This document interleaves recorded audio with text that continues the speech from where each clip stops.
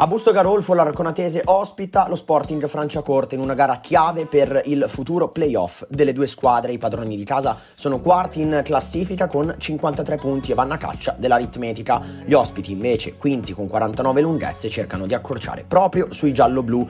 L'inizio della partita non è movimentato con le squadre che si studiano e provano un paio di incursioni. Qui una gran rovesciata di Mozzanica respinta in due tempi dalla retroguardia di casa. La prima chance vera del match capita capita al dodicesimo con Menegazzo che involontariamente servito da Moraschi sfiora l'incrocio dei pali difeso da Plecheru. La risposta pronta dei bresciani arriva con Ravasi che approfitta di un errore di Robbiati, scavalca Cordaro ma trova Bianchi appostato a centro area a respingere.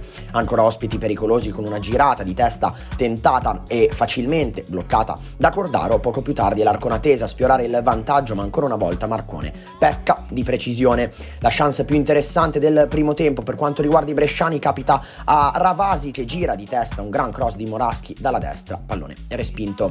Poco più tardi si iscrive alla partita anche Bertazzoli con questo destro respinto ancora una volta dal portiere dell'Arconatese. Arconatese che in questa fase del match fatica molto mentre i due attaccanti della Francia Corta, Bertazzoli e Ravasi, si trovano bene. Qui a concludere Boschetti, sinistro centrale, bloccato dall'estremo di casa.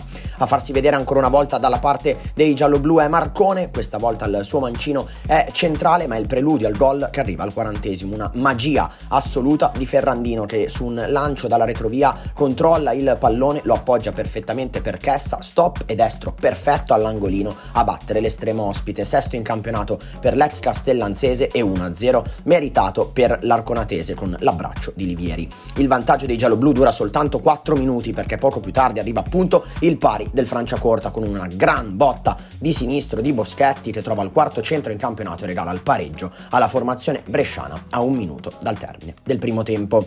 Un episodio che potrebbe tagliare le gambe ai gialloblu che però nella ripresa iniziano benissimo con questa combinazione Chessa, Ferrandino, Chessa, Chessa pescato in fuorigioco ma che conclusione del numero 7 che fa la barba al palo. Poco più tardi la pronta risposta del Franciacorta è una grandissima giocata da parte di Bertazzoli, il suo destro termina però largo, una giocata che sarebbe valsa un gol meraviglioso.